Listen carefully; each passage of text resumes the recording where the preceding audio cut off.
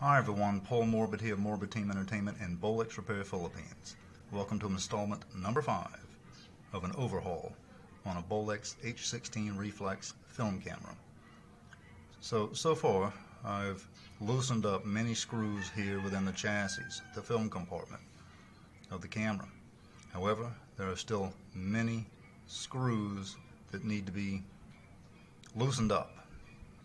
And when you buy a camera like this in this type of condition, expect this to happen. No matter how much you put some oil on the screws, that type of thing to loosen it up, as I don't like to use WD-40, it can damage parts of the camera. You're gonna, this is a long haul overhaul situation. They always are.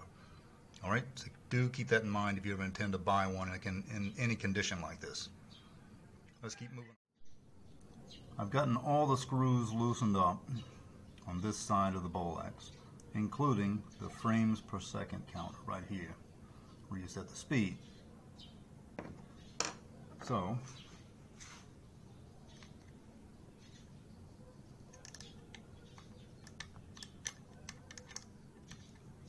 when I'm screwing this,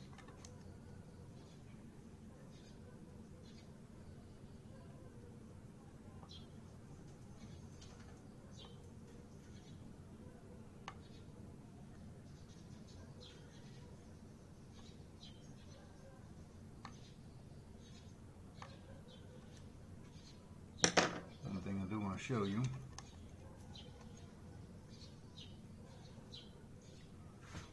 There's all the rust in this part of the camera, as well as other areas. This is why the camera had to be taken completely apart and cleaned heavily all the way around.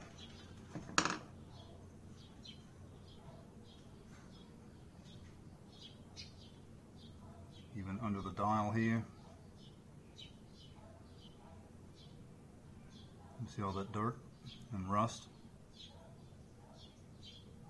That's what's going to have to happen.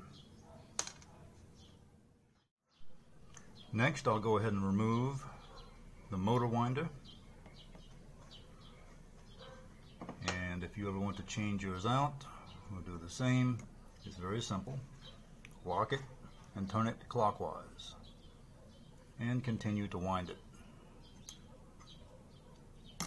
And it would just simply fall right off. And as you can see, there's lots of rust in the spring. We'll set this aside to clean it. So remember, when you're going to take on this type of job, when you buy this type of camera, the work cannot be rushed again is a long haul, overhaul. It takes lots of time. The worst part probably is freeing up all these little screws and the larger screws here. It doesn't make a difference what model it is. The positive thing with getting a reflex, especially on the H models, is, essentially the governor is much easier to set it takes a lot less time and effort. If you get a non-reflex model, the reason those things are so cheaply sold is because the governor has to be reset and it is a real pain in the backside to do so. Right? So, this has been installment number five of an overhaul on a Bolex H16 reflex film camera. Do look forward to episode 6. Paul Morbid of Morbid Team Entertainment and Bolex Repair Philippines. Thanks a lot. See ya.